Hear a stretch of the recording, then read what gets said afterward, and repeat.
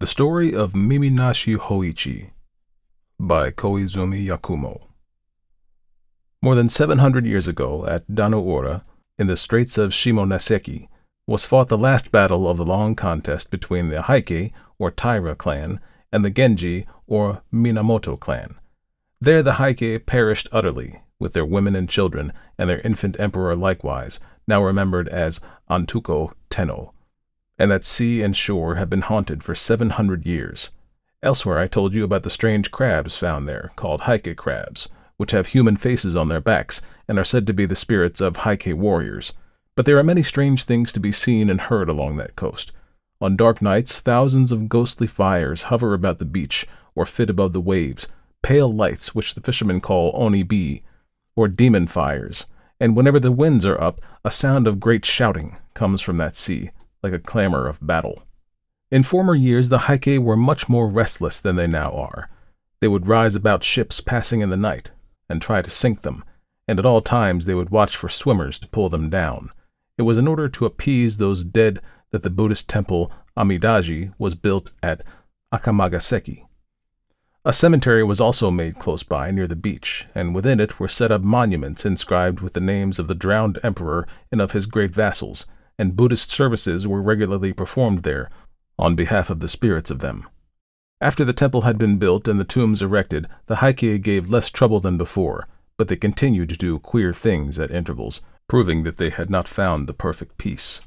Some centuries ago there lived at Akamagaseki a blind man named Hoichi, who was famed for his skill in recitation and in playing upon the biwa. From childhood he had been trained to recite and to play, and while yet a lad he had surpassed his teachers. As a professional biwahoshi, he became famous chiefly by his recitations of the history of the Heike and the Genji, and it is said that when he sang the song of the Battle of Danoura, even the goblins or kaijin could not refrain from tears. At the outset of his career, Hoichi was very poor, but he found a good friend to help him. The priest of the Amidaji was fond of poetry and music, and he often invited Hoichi to the temple to play and recite. Afterwards, being much impressed by the wonderful skill of the lad, the priest proposed that Hoichi should make the temple his home, and that offer was gratefully accepted. Hoichi was given a room in the temple building, and in return for food and lodging he was required only to gratify the priest with a musical performance on certain evenings when otherwise disengaged. One summer night the priest was called away to perform a Buddhist service at the house of a dead parishioner, and he went there with his acolyte, leaving Hoichi alone in the temple. It was a hot night, and the blind man sought to cool himself on the veranda before his sleeping room. The veranda overlooked a small garden in the rear of the Amidaji. There Hoichi waited for the priest's return and tried to relieve his solitude by practicing upon his biwa. Midnight passed, and the priest did not appear. But the atmosphere was still too warm for comfort within doors, and Hoichi remained outside. At last he heard steps approaching from the back gate. Somebody crossed the garden, advanced to the veranda, and halted directly in front of him. But it was not the priest. A deep voice called the blind man's name, abruptly and unceremoniously, in the manner of a samurai summoning an inferior. Hoichi! Hoichi was too much startled for the moment to respond, and the voice called again in a tone of harsh command. Hoichi! Hi! answered the blind man, frightened by the menace in the voice. I am blind. I cannot know who calls. There is nothing to fear, the stranger exclaimed, speaking more gently. I am stopping near this temple and have been sent to you with a message. My present lord, a person of exceedingly high rank, is now staying in Akamagaseki, with many noble attendants. He wished to view the scene of the battle of Danoura, and today he visited that place. Having heard of your skill in reciting the story of the battle, he now desires to hear your performance. So you will take your biwa and come with me at once to the house where the august assembly is waiting. In those times the order of a samurai was not to be lightly disobeyed. Hoichi donned his sandals, took his biwa, and went away with the stranger, who guided him deftly, but obliged him to walk very fast. The hand that guided was iron, and the clank of the warrior's stride proved him fully armed, probably some palace guard on duty. Hoichi's first alarm was over. He began to imagine himself in good luck, for remembering the retainer's assurance about a person of exceedingly high rank, he thought that the lord who wished to hear the recitation could not be less than a daimyo of the first class. Presently the samurai halted, and Hoichi became aware that they had arrived at a large gateway. And he wondered, for he could not remember any large gate in that part of the town, except the main gate of the Amidaji. Kaimon! the samurai called, and there was a sound of unbarring, and the twain passed on. They traversed a space of garden and halted again before some entrance, and the retainer cried in a loud voice, Within there! I have brought Hoichi! Then came sounds of feet hurrying, and screens sliding, and rain doors opening, and voices of women in converse. By the language of the women, Hoichi knew them to be domestics in some noble household, but he could not imagine to what place he had been conducted. Little time was allowed for him to conjecture. After he had been helped to mount several stone steps, upon the last of which he was told to leave his sandals, a woman's hand guided him along the interminable reaches of polished planking and round pillared angles too many to remember, and over widths of amazing and matted floor into the middle of some vast apartment. There he thought that many great people were assembled. The sound of the rustling of silk was like the sound of leaves in a forest. He also heard a great humming of voices, talking in undertones, and the speech was the speech of courts. Hoichi was told to put himself at ease, and he found a kneeling cushion ready for him. After having taken his place upon it and tuned his instrument, the voice of a woman, whom he divined to be the rojo, or matron in charge of the female service, addressed him, saying, It is now required that the history of the Heike be recited, to the accompaniment of the biwa. Now the entire recital would have required a time of many nights, therefore Hoichi ventured a question. Uh, as the whole story is not soon told, what portion is augustly desired that I should recite? The woman's voice made answer, Recite the story of the battle at Dano Ura, for the pity of it is the most deep. Then Hoichi lifted up his voice and chanted the chant of the fight of the bitter sea, wonderfully making his biwa to sound like the straining of oars and the rushing of ships, the whir and hissing of arrows, and shouting and trampling of men, the crashing of steel upon helmets, the plunging of the slain in the flood. And to left and right of him, the pauses of his playing, he could hear the voices murmuring praise. How marvelous an artist! Never in our own province was playing heard like this. Not in all the empire is there another singer like Hoichi. Then fresh courage came to him, and he played and sang yet better than before, and a hush of wonder deepened about him.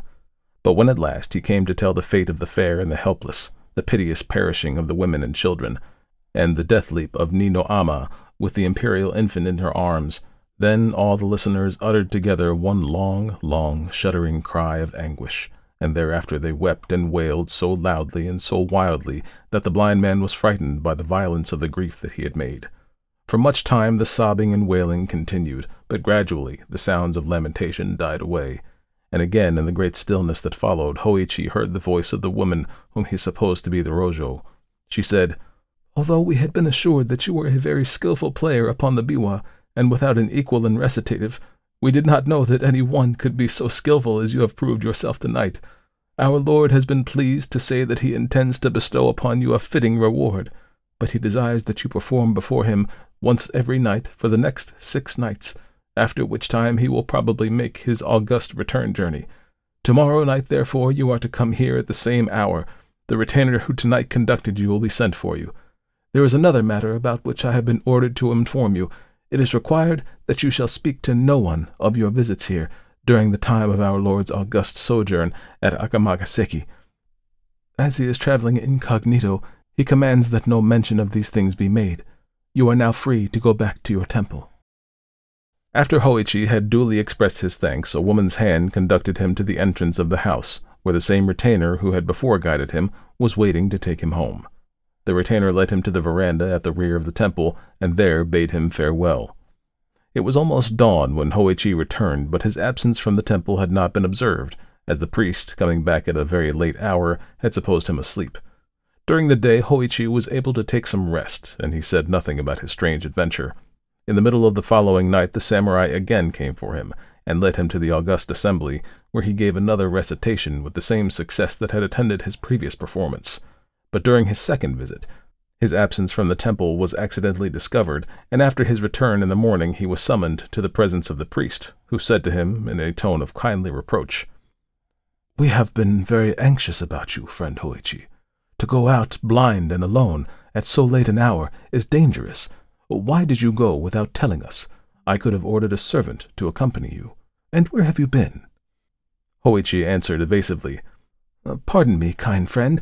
I had to attend to some private business, and I could not arrange the matter at any other hour. The priest was surprised rather than pained by Hoichi's reticence. He felt it to be unnatural and suspected something wrong. He feared that the blind lad had been bewitched or deluded by some evil spirits. He did not ask any more questions, but he privately instructed the men servants of the temple to keep watch upon Hoichi's movements and to follow him in case that he should go again and leave the temple after dark. On the very next night, Hoichi was seen to leave the temple, and the servants immediately lighted their lanterns and followed after him. But it was a rainy night and very dark, and before the temple folks could get to the roadway, Hoichi had disappeared. Evidently he walked very fast, a strange thing considering his blindness, for the road was in a bad condition. The men hurried through the streets, making inquiries at every house which Hoichi was accustomed to visit, but nobody could give them any news of him. At last, as they were returning to the temple by way of the shore, they were startled by the sound of a biwa, furiously played in the cemetery of the Amidaji. Except for some ghostly fires, such as usually flitted there on dark nights, all was blackness in that direction. But the men at once hastened to the cemetery, and there, by the help of their lanterns, they discovered Hoichi, sitting alone in the rain before the memorial tomb of Antoku Tenno, making his biwa resound, and loudly chanting the chant of the Battle of Dano Ura. And behind him, and about him, and everywhere above the tombs, the fires of the dead were burning like candles. Never before had so great a host of Oni-bi appeared in the sight of mortal man. Hoichi-san! Hoichi-san! the servants cried. You are bewitched! Hoichi-san! But the blind man did not seem to hear. Strenuously he made his biwa to rattle and ring and clang. More and more wildly he chanted the chant of the battle of Dano Ura. They caught hold of him. They shouted into his ear, Hoichi-san! Hoichi-san! Come with us at once! Reprovingly he spoke to them. To interrupt me in such a manner before this august assembly will not be tolerated. Whereat, in spite of the weirdness of the thing, the servants could not help laughing. Sure that he had been bewitched, they now seized him and pulled him up to his feet, and by main force hurried him back to the temple, where he was immediately relieved of his wet clothes by order of the priest, and reclad and made to eat and drink. Then the priest insisted upon a full explanation of his friend's astonishing behavior. Hoichi long hesitated to speak, but at last, finding that his conduct had really alarmed and angered his good priest, he decided to abandon his reserve, and he related everything that had happened from the time of the first visit of the samurai. The priest said, Hoichi, my poor friend, you are now in great danger. How unfortunate that you did not tell me this before. Your wonderful skill in music has indeed brought you into strange trouble. By this time you must be aware that you have not been visiting any house whatever, but have been passing your nights in the cemetery, among the tombs of the Heike, and it was before the memorial tomb of Antoku Tenno that our people tonight found you, sitting in the rain. All that you have been imagining was illusion, except the calling of the dead. By once obeying them you have put yourself in their power, if you obey them again, after what has already occurred, they will tear you in pieces. But they would have destroyed you sooner or later, in any event. Now I shall not be able to remain with you tonight. I am called away to perform another service. But before I go, it will be necessary to protect your body by writing holy texts upon it. Before sundown, the priest and his acolytes stripped Hoichi. Then, with their writing brushes, they traced upon his breast and back, head and face and neck, limbs and hands and feet, even upon the soles of his feet, and all parts of his body, the text of the Holy Sutra called Hanya Shin Kyo. When this had been done, the priest instructed Hoichi, saying, Tonight, as soon as I go away, you must seat yourself on the veranda and wait. You will be called. But, whatever may happen, do not answer, and do not move. Say nothing, and sit still, as if meditating. If you stir, or make any noise, you will be torn asunder, do not get frightened, and do not think of calling for help, because no help could save you. If you do exactly as I tell you, the danger will pass, and you will have nothing to fear. After dark, the priest and the acolyte went away, and Hoichi seated himself on the veranda, according to the instructions given him. He laid his biwa on the planking beside him, and, assuming the attitude of meditation, remained quite still, taking care not to cough or to breathe audibly. For hours he stayed thus. Then, from the roadway, he heard steps coming. They passed the gate, crossed the garden, approached the veranda, stopped directly in front of him. Hoichi! The deep voice called, but the blind man held his breath and sat motionless. Hoichi! grimly called the voice a second time. Then a third time, savagely. Hoichi! Hoichi remained as still as stone, and the voice grumbled. No answer. That won't do. Must see where the fellow is.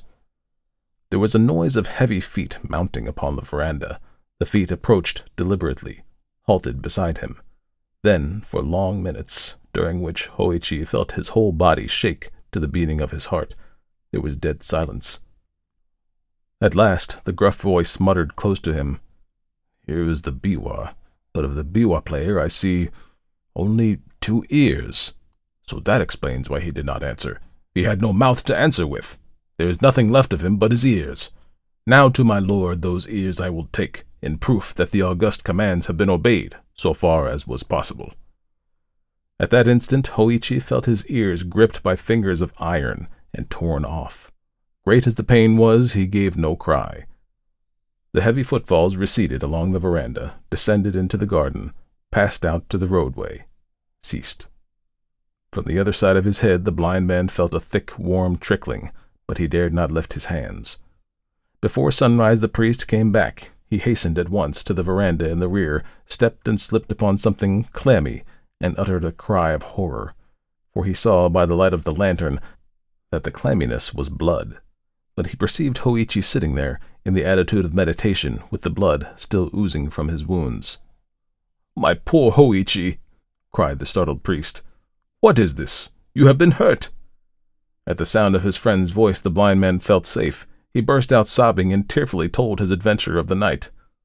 Poor, poor Hoichi, the priest exclaimed. All my fault, my very grievous fault. Everywhere upon your body the holy texts had been written, except upon your ears. I trusted my acolyte to do that part of the work, and it was very, very wrong of me not to have made sure that he had done it. Well, the matter cannot now be helped. We can only try to heal your hurts as soon as possible. Cheer up, friend. The, the danger is now well over. You will never again be troubled by those visitors. With the aid of a good doctor, Hoichi soon recovered from his injuries. The story of his strange adventure spread far and wide and soon made him famous. Many noble persons went to Akamagaseki to hear him recite, and large presents of money were given to him, so that he became a wealthy man. But from the time of his adventure, he was known only by the appellation of Miminashi Hoichi, Hoichi the Earless.